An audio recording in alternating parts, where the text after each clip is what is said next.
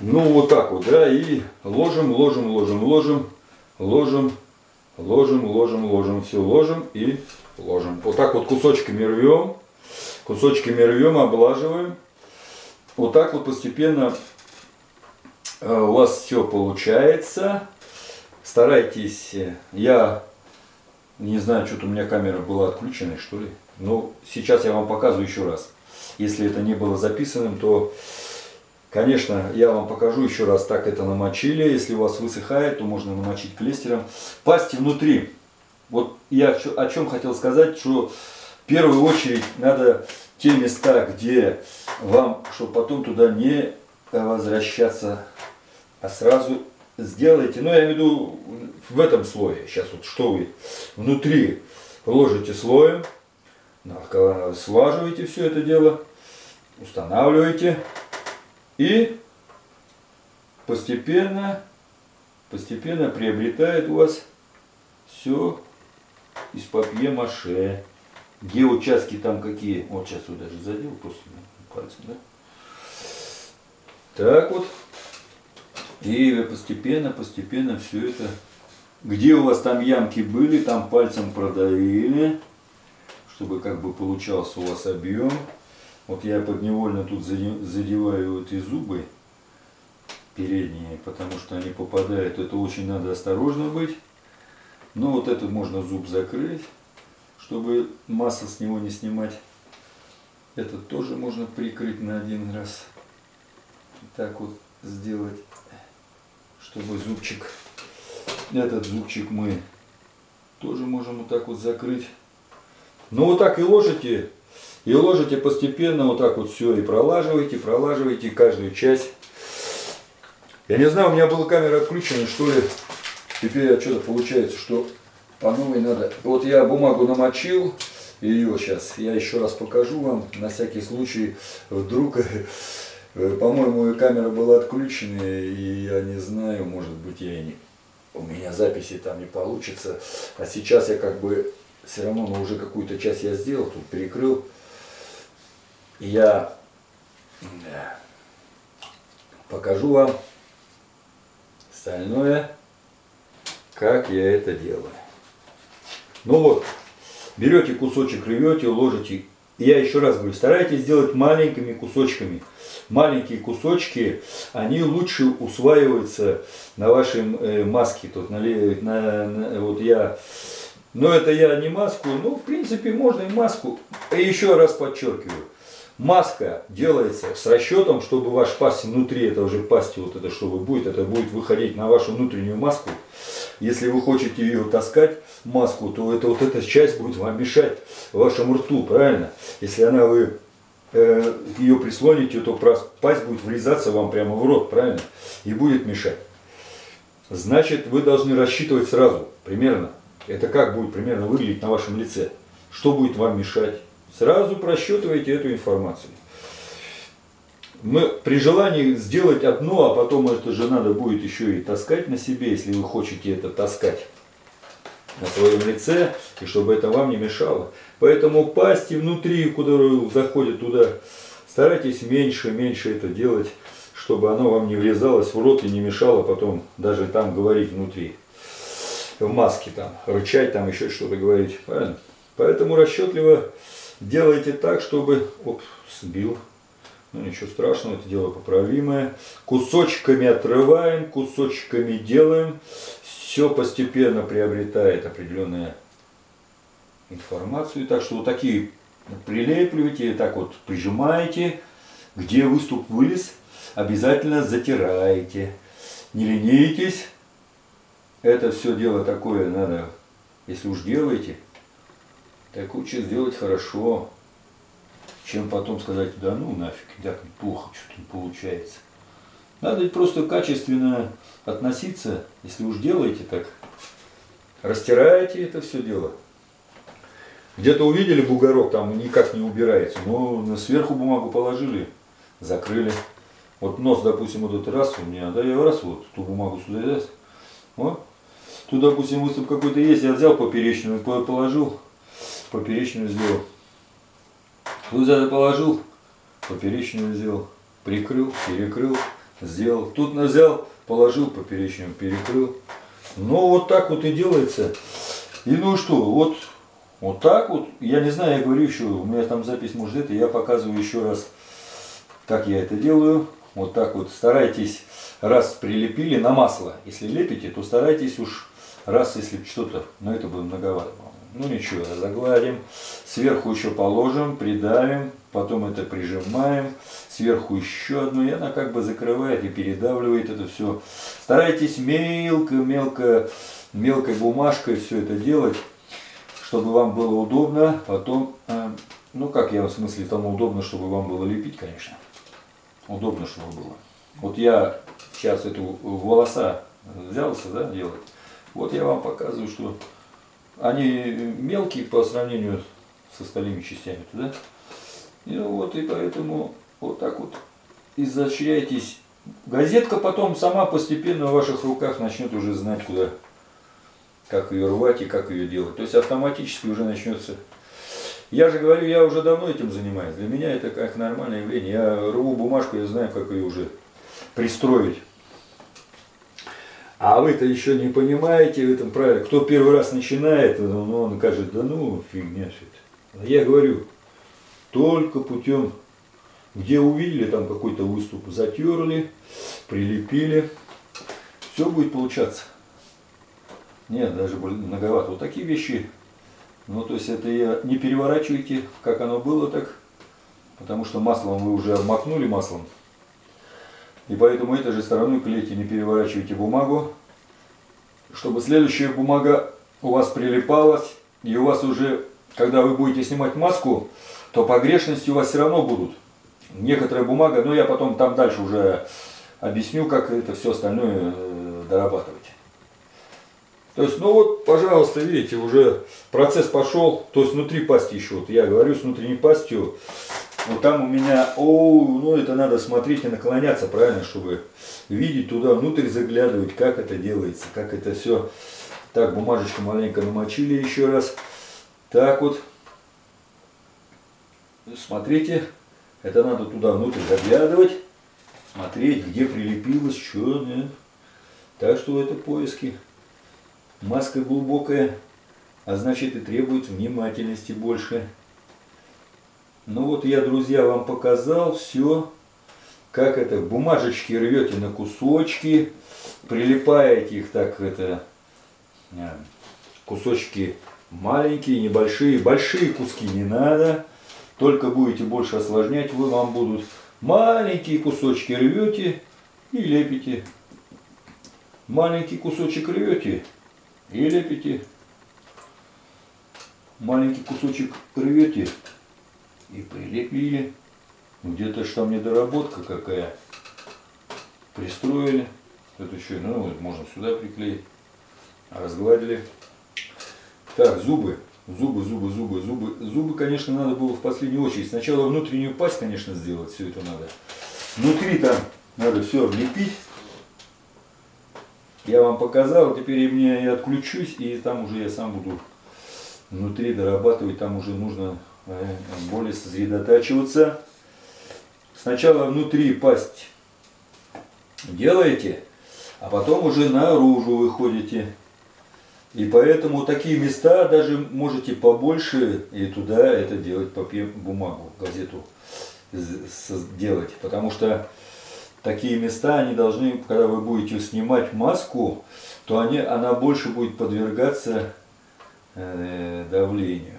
Это у вас же тут внутри э, будет, когда вы маску будете снимать, у вас, э, я и говорю, подвергаться будет больше изменению вот этой внутренней пасти.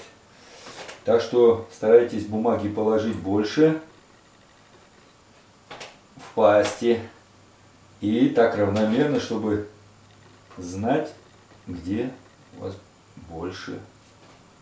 Ну, вот на каких местах, я имею в виду это, так вот раз и тут вот так вот, так вот. Зубики тоже зубики. Ну, сейчас я зубики сделаю, тут я потом начну внутреннюю пасть. Вот так вот разрываете ровненько бумажечку, можете ее еще напополам, чтобы удобнее было вам. Потом с внутренней стороны зашли кончик зуба тоже надо же как-то, чтобы бумага-то у вас выходила. Ну вот, кончик зуба надо тоже, чтобы это все у вас, это все надо прижимать. Так вот, внутри зубик. Зубики не давите, а то можете пластилин. Это же пластилин, поэтому сильно давить не надо. Все аккуратненько делается. Так вот тут сук со всех сторон подавили. Вот, пожалуйста, и уже, оп, ушла. Вот и зубик получился из папье-маше. А когда он высохнет, он, а, не, он, он что-то начинает как-то с внутренней стороны посмотреть, обязательно пальцами это надо придавливать, отходит куда-то, не захотелось что-то, не хочет, ну ладно, заставим. Так. Вот, пожалуйста. И получилось у нас, получилось у нас зубик. И рядом сейчас зубик начнем делать. Вот этот зубик у нас тоже рядышком идет. И вот тоже надо облепить. Так, линии должны быть маленькие, такие. Это внутри, как можно туда пальцем можно просовывать. Еще можете какие-то, если между зубами, да, там еще вот, если как-то разрезы будут, да, вот надо какой-то, да, да, вот даже ложкой просто возьму вот так вот. И вот так вот поправлю. То есть предмет, пожалуйста, ложкой в таких местах. Ложка да, приобретает тоже свою вот, все. Вот примерно, друзья мои, вот такими кусочками вы и первый слой сделал, завершил вот полностью папье-маше.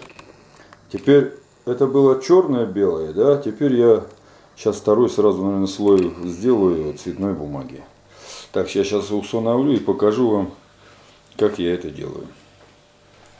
Ну, нашел цветную бумагу информполюсом, в общем, решил использовать информполюс. Сейчас я вам покажу тут цветную бумагу. Вот цветная бумага. Ну, приблизительно хотя бы так, чтобы ориентироваться, да. Также рву на кусочки. Иногда удобно рвется. Вот, вот такими полосками нарываю. Удобно. Двойная, двойная, как бы двойной лист рвется хорошо. Вести плохо немного разорвать, но это нормально. И теперь ложу его в этот, два можно сразу, два этих, две полоски можно положить, пускай одна полоска готовится, вторую полоску пускай тоже также намочите. Так, ну цветную надо выбрать, чтобы сориентировать, вам покажу я, как это примерно выглядит. Налить, залить еще немного так, ну и сейчас я покажу вам также все и будет примерно второй слой уже. Ну он не он считается цветной бумаги второй слой. Как бы, хотя он, они там на друг друга налаживаются и неизвестно там ни в одном слое может быть, но я имею в виду, что это, чтобы вы понимали, о чем я. Газету можно делать разную, чтобы различие было, да. Это у меня Вести программка. Она черно-белая же, да?